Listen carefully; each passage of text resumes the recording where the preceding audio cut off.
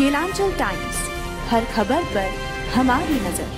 आम आदमी पार्टी के लिए बीते कुछ दिनों से मुसीबतें बढ़ती चली आ रही हैं। दिल्ली शराब घोटाला मामले में ईडी ने केजरीवाल को पूछताछ के लिए समन जारी किया था।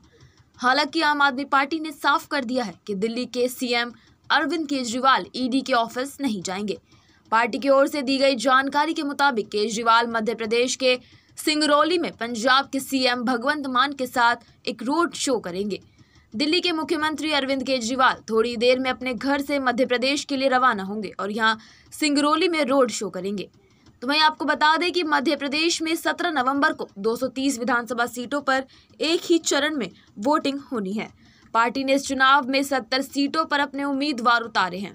इससे पहले दिल्ली के मुख्यमंत्री और आम आदमी पार्टी के संयोजक केजरीवाल ने ईडी की ओर से भेजे गए समन पर एक तीखी प्रतिक्रिया दी है। केजरीवाल ने कहा है कि ईडी का नोटिस गैर कानूनी और राजनीति से प्रेरित है। इस नोटिस को बीजेपी के कहने पर भेजा गया है। केजरीवाल ने आरोप लगाया कि उन्हें नोटिस इसलिए भेजा गया है ताकि वह चार राज्यों में चुनाव प्रचार न कर पाए। उन्होंने कहा कि ईडी तुरंत नोटिस वापस ले।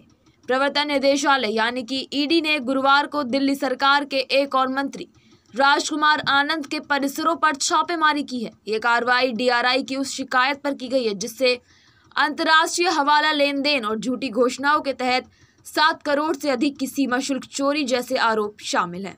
मंत्री राजकुमार के करीब दर्जनों भर ठिकानों पर ईडी की कार्रवाई जारी है। इससे पहले दिल्ली के सीएम और आम आदमी पार्टी के संयोजक केजरीवाल ने ईडी की ओर से भेजे गए समन पर एक तीखी प्रतिक्रिया दी।